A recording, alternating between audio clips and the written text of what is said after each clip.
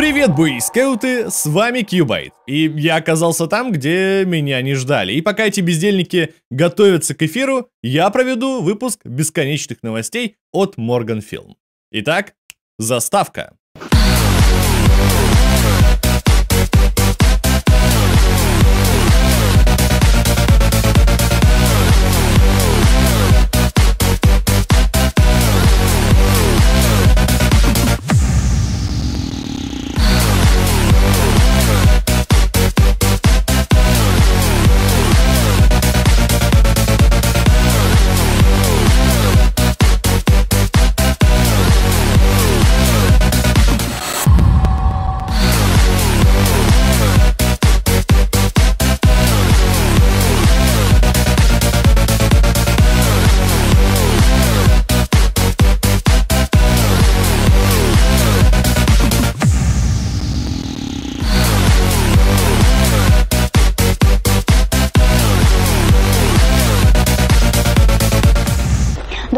Смотрите информационную программу «Бесконечные новости». Меня зовут Ксения Шумихина. Чтобы не пропускать новые выпуски, следите за нами ВКонтакте и на Ютубе. И вот главные новости этого выпуска.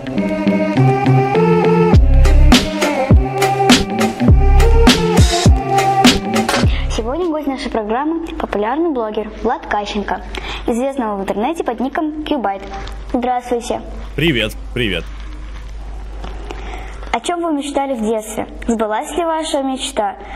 И как, почему вы решили стать блогером? О чем мечтал в детстве? М -м, честно говоря, я толком так и не помню, прям, чтобы какая-то была мечта. Наверное, каким-то офисным рабочим, не знаю, может быть, каким-то менеджером или программистом. Ну, очевидно, мечта не сбылась. Ну, то есть я все равно как бы сижу за компьютером, можно сказать, отчасти, но только, ну, только делаю ролики.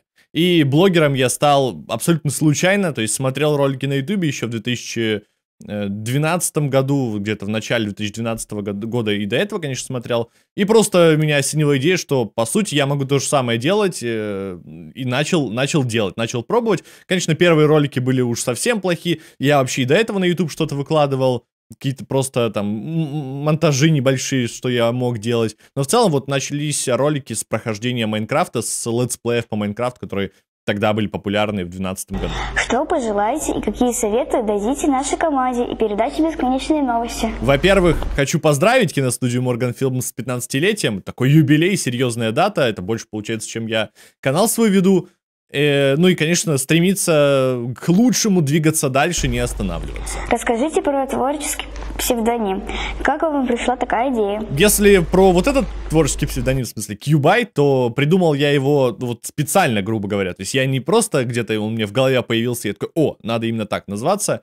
Он мне, я специально искал какие-то интересные слова, чтобы это как-то было и звучно, и писалось красиво, ну, по, по, по моему вкусу. Ну, в общем, я подыскивал какие-то слова, нашел слово кубит, которое обозначает квантовый бит в квантовой физике, и просто его слегка изменил под кьюбайта. То есть оно выглядело иначе, но мне понравилось, как оно звучит, я просто его пере, переписал, перефразировал, и получилось то, что есть сейчас. В общем-то, никакой там э, загадки и тайны в никнейме нет, поэтому вот. У вас очень увлекательный и подробные разборы и обзоры на канале. Долго вы их готовите? Разборы, обзоры, ну, разборы, скажем так, они делаются по-разному. Если это фильм, то он, конечно, делается дольше. Если это какой-то тизер, трейлер, делается быстрее, чем разбор фильма, естественно, потому что хронометраж э, разный. Но, например, разбор трейлера делается вот сначала я сажусь, смотрю трейлер. Что я заметил? Я это все себе выписываю, потом составляю текст из этого, то есть э, каждый, ну, объясняю, что, что это, как это, к чему может отсылаться, э, какие-то еще детали я рассматриваю, там, медленно просматриваю каждый кадр, смотрю материалы в интернете, может быть, что-то нашли, чего я не нашел, и это вполне нормально, потому что я не могу все знать, это э, так работает. Тем более на Западе там, э, ну, ребята, которые выросли на комиксах, и они, очевидно, больше меня знают в этом 100%. То есть вот таким образом все собирается э, в единый текст, потом это записывается, озвучивается текст, и потом уже приступаю к монтажу, который, ну, может занимать по-разному. Можно целый день монтировать, можно два, можно три. Если это разбор фильма, там можно неделю монтировать, а то и больше. Все зависит от э, конкретного какого-то материала. Даже от фильма к фильму может разниться времени подготовки. Но в целом, если это фильм, то неделя. Спасибо точно. за такое интересное и доброе интервью. До свидания. Спасибо, что позвали, и спасибо тем, кто посмотрел этот ролик э, за просмотр. Все. Всем пока.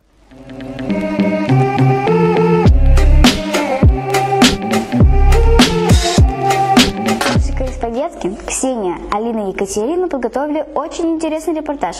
Давайте его посмотрим. Здравствуйте, вы смотрите программу «Бесконечные новости», и сегодня мы находимся на выставке. Жители Королева приглашают на выставку «Как делать не надо». Работа старшей группы из-за студии «Пойманный ветер» по книге «Вредные советы». Можете рассказать, пожалуйста, о выставке? Конечно, с большим удовольствием. Сегодня я хочу вам представить выставку студии «Пойманный ветер». Эта студия существует при ЦДК имени Калинина уже более 90 лет. Посвящена она году наставника, педагога и наставника, который мы э, весь этот 2023 год будем так или иначе отмечать. И э, вот эти работы, написанные детьми из студии, учащимися студии, посвящены вредным советам Григория Остера. Люди старшего поколения, наверное, больше знают этого писателя – который написал смешные вредные советы, собственно говоря, о том, как делать не надо. И вот эти рисунки детей, ну, как нельзя лучше характеризуют такие стихи. Ну вот как, например, да, если ты пришел на елку, свой подарок требуй сразу. Догляди, догляди чтобы ни конфеты не, за, не зажилил Дед Мороз. И не вздумай беззаботно приносить домой останки. Как наскочат папа с мамой, половину отберут. Ну понятно, что это, конечно, смешно и так делать нельзя, но тем не менее работа потрясающая, выполнена практически профессионально. Педагог этой студии Роман Федченко. Э, кстати, мы с ним работаем достаточно давно. Это уже третья выставка его, ну, работ его детей в нашей библиотеке. Спасибо большое. Алина Кожухова, Ксения Туркан, Екатерина Шумихина, Александр Назаев для передачи «Бесконечные новости».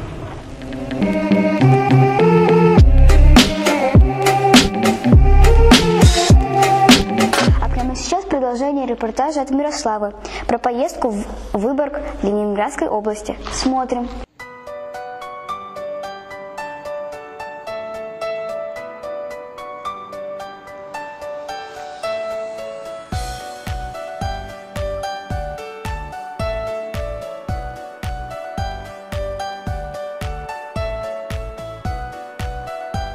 Мы находимся в парке Монрепо. В переводе с французского «Мой покой».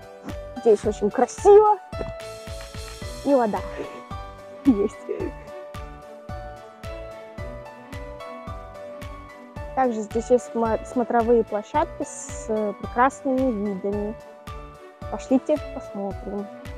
Монрепо – это усадьба-заповедник. Здесь очень спокойно и тихо. Здесь нельзя даже на великах кататься. Красиво.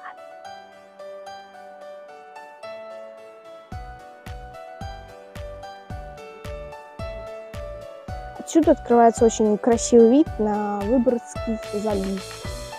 Конечно, сейчас это все очень плохо видно, потому что сейчас серый день, туман и холодно.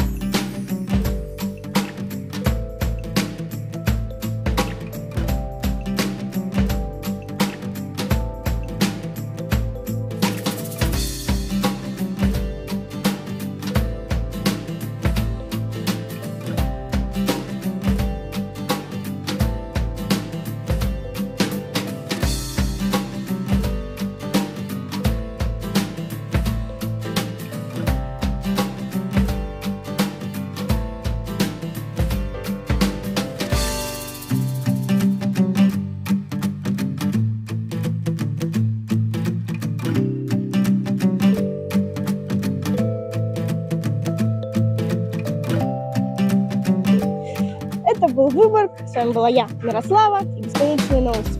Пока. Пора ехать домой, в школу.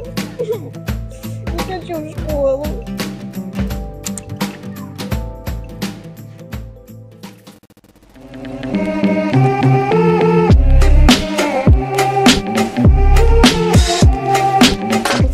Шумихина подготовила репортаж про концерт, посвященный празднику 23 февраля. Давайте посмотрим, как все получилось. Здравствуйте, меня зовут Екатерина Шумихина, и сегодня в новом актовом зале состоится мероприятие, посвященное Дню защитника Отечества. Праздник 23 февраля – хороший повод для воспитания у школьников чувства патриотизма. Смелых и отважных, ловких и надежных, а также праздник мальчиков, которые вырастут и станут защитниками Отечества. Такие мероприятия, проведенные с детьми, закладывают в их душах зернышко патриотизма, чувство долга перед Родиной. На празднике звучало много песен, были танцы и много-много различных творческих номеров. Концерт получился замечательный, праздник состоялся, и мир вокруг нас стал чуточку ярче, светлее и добрее.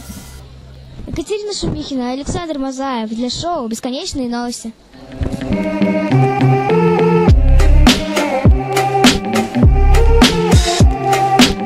А на этом у нас все.